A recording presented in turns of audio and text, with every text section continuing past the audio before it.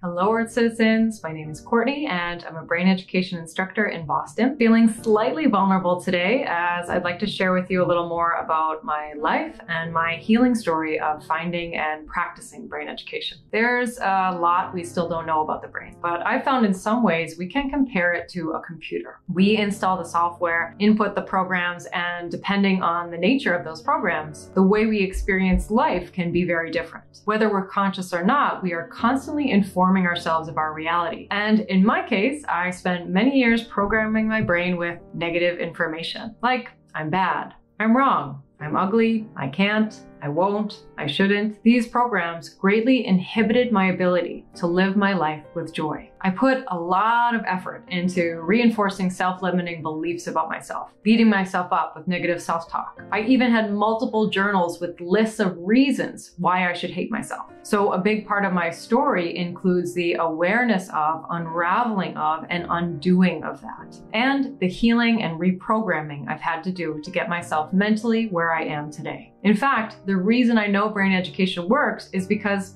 I did it already, just in the opposite direction. Instead of creating a positive, productive, and healthy relationship with myself, I used my brain's programming to hate and hurt myself. And I got so deep in it that there were points I, I thought I would never get out. And I even considered taking my own life. I really sabotaged the full potential of my brain. I don't remember much from my younger years, and I learned later that people with anxiety tend not to have a good memory because we're never fully present. When you live with an anxiety disorder, you, you tend to live in the future, worrying about the next thing. And if you're not mentally present, and when you're running your own negative commentary when other things are happening, it becomes pretty difficult to remember things accurately. But from an outside perspective, you could say, I had a great childhood. I had two very caring parents. I had a roof over my head and I never had to worry where my next meal was coming from. In fact, having a privileged upbringing often made me feel like I didn't deserve to be depressed. And I added that to my long list of evidence of why I was bad and wrong. I taught my brain to always look for and gather evidence towards my case of self-hatred. By 14, I had a therapist, and over the next few years endured a variety of psychological testing and a myriad of antidepressants that sometimes left me feeling catatonic. But besides being diagnosed with chronic depression and an anxiety disorder, they couldn't find anything wrong with me. And so I spent most of my life feeling deeply misunderstood with the feeling that no one could help me, that I was unfixable, I was sensitive, very sensitive. So even the slightest criticism or feedback shook my entire system to my core. Even silly things that seemed to roll right off the other kids, like being told to be quiet. I remember getting feedback in two contradicting ways growing up. I was either too bossy or too quiet. I hated being called bossy. So as I grew older, every time the bossy girl came out, I shushed her, shamed her, uh, added that to my list and in doing so, I really killed the fun part of myself for a long time. To add insult to injury, as I got older, uh, being quiet was often interpreted as being arrogant. And I remember wanting to scream out to the world, how, how can I be arrogant when I hate myself so much? One of my first memories was being held back in the first grade. I remember sitting in the room with my teacher and my parents, and I don't remember any of the words that were said, but I do remember that feeling. At first, I was confused. Was I the only one? What did I do wrong? All my friends are moving on without me. I felt singled out, I felt very alone, I felt flooded with shame. And not only did this turn into a fear of being publicly shamed, but this was the formation of the belief that I was stupid. And in the years to come, I would firmly reinforce that belief. It became one of my strongest preconceptions about myself and it cripplingly narrowed down the career choices I allowed myself to look at. I made a lot of rules in an effort to stay controlled, to not embarrass myself, and to stay under the radar, to be invisible. These were also documented in journals, further reinforcing what I was allowed to do and not allowed to do. And my world was just getting smaller and smaller. Emotions were not okay, even happy ones. But the more I tried to suppress them, the more sensitive I became and much to my chagrin, I would cry easily. My own plan backfiring in my face. I can see in retrospect why I was drawn to acting. It was a place where emotions were okay. They weren't my emotions, but I got to express them nonetheless. Acting also gave me a certain level of comfort because a character in a play has a script.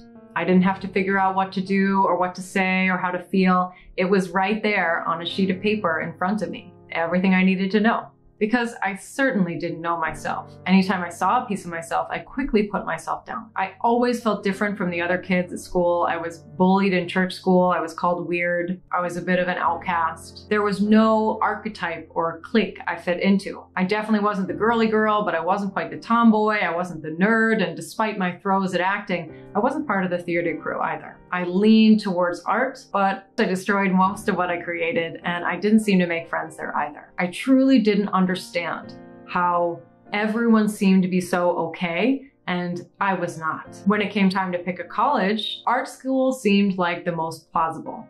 And considering my struggle in high school, the thought of a fraternity environment was out of the question. So I picked an art school in an entirely different part of the world, Scotland. My parents were born and raised there, and the rest of my extended family was still there. From the outside, it appeared to be perfect a fresh start and the chance to be a new person. Only in retrospect did I learn that wherever you go, there you are. I love Scotland. It is my favorite place in the world, and I got to travel a lot around Western Europe while I was there. But over time, it too felt like another place I didn't fit into. My mental health kept declining, and my ability to function in society was getting more and more challenged, with most of my fears being centered around social interactions and people. After moving back from Scotland, I diverted away from art and towards animals, perhaps because animals judge a lot less than people do. I worked for a few dog walking companies, ended up making a decent business for myself, and aside from dealing with the occasional dog disagreement, there were many days I didn't have to interact with people at all. Finally, I thought I hit it big by being hired by a multi-million dollar startup of a doggy spa resort. I was in on the ground floor. I had a partner at the time who was very supportive and a caretaker of my mental health. And everything was okay until it wasn't. Something happened and it was the straw that broke the camel's back. My brain went into shock and I needed the world to stop. So I ended up admitting myself to a day program at McLean Hospital in 2011.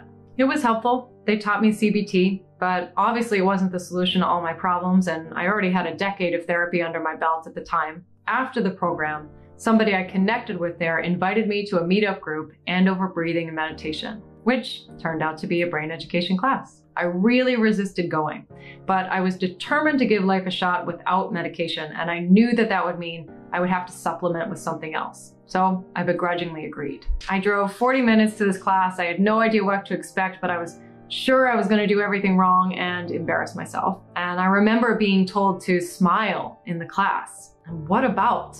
I cynically thought. But what was worse, at the end of the class, we were invited to say, I love you to ourselves. No way. It goes against everything I believe in, everything I've been working so hard to reinforce that I'm not a good person, that I'm I'm definitely not allowed to love myself. So I wouldn't and I couldn't say it. Honestly, I really didn't like the classes at first. Physically, it was fine, but mentally, it was very, very challenging, and the, the whole process was very vulnerable and raw for me. But there must have been something that attracted me because I drove 40 minutes almost every week for about a year until the instructor, who I would later call my yoga mom, encouraged me to sign up at the location uh, closer to me in Brookline. And when I still dragged my heels to go, she drove all the way out to Brookline to take that first class with me. And this was just one example of the extent or the hold that depression and anxiety had on me. I was soon drawn to a retreat out in Sedona where I experienced a multitude of things over the course of one weekend. I went from feeling the depths of extreme pain, sadness, and fear that had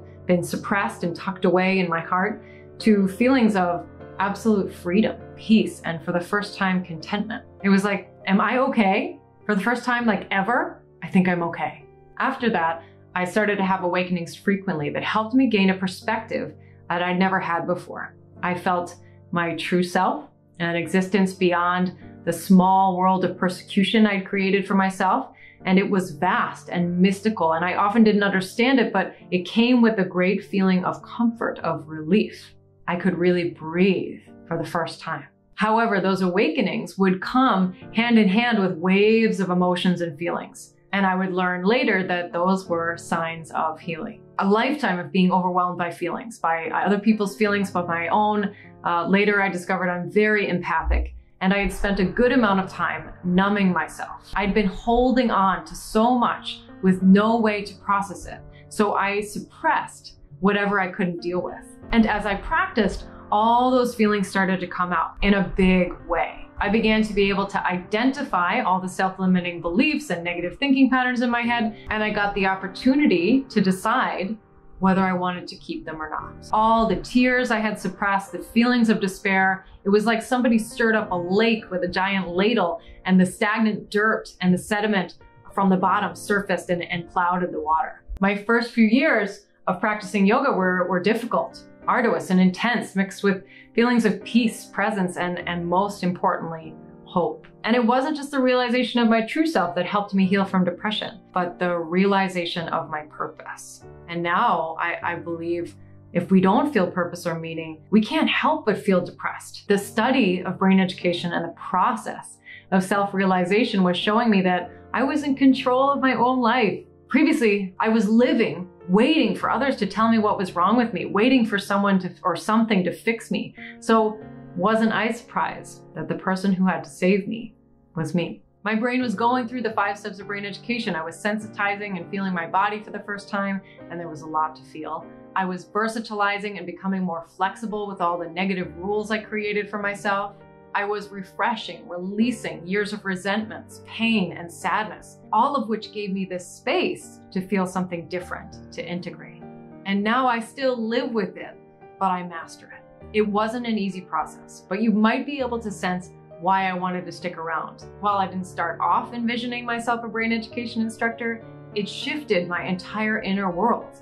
And I thought, if I can climb out of this dark, bottomless pit I, I thought I could never leave, can I help others to do the same? And an even scarier thought, can other people benefit from hearing my story, my struggle, and know that there's hope? And it's in your own brain. You already have everything you need. It's in the process of self realization. Although it really helps to have a guide, a teacher, and mentorship, because especially if we struggle with mental health, sometimes we need someone to remind us what is real and what is not. But the essence of brain education to me is uncovering the human technology that lives inside of all of us. It's awakening to and learning how to utilize the full potential of your brain. It's a way to take back your power that you gave away to others, or in my case, that I took away from myself. And it's the knowing that you are in charge of your own life. So, while I'm not going to tell you that it's easy, because healing is not for the faint of heart, it takes a lot of courage. Plus, if you can relate to my story, you may also have a lot of refreshing to do, a lot of cleaning out of old thinking patterns and self limiting beliefs. Although they may seemingly be set in stone, they are not. No matter where you're starting from, no matter your background, it takes grit, persistence, consistent training, but it is possible. And by doing it, you may not only save yourself, you may even inspire those around you that they can do it too. This last thing I want to say is if you don't know your purpose yet in life, you can borrow this one. Love yourself. Use everything that happens to you in life, every obstacle, every conflict, use it to practice truly loving yourself. And with that, Earth citizens, I am honored and humbled to have shared my story with you. If it resonates, please leave your comments below or perhaps even pop a hopeful message there for the next person to see. We'll also drop a link to my personal channel, and if you'd like to experience a full one hour of brain education, find a body and brain center near you.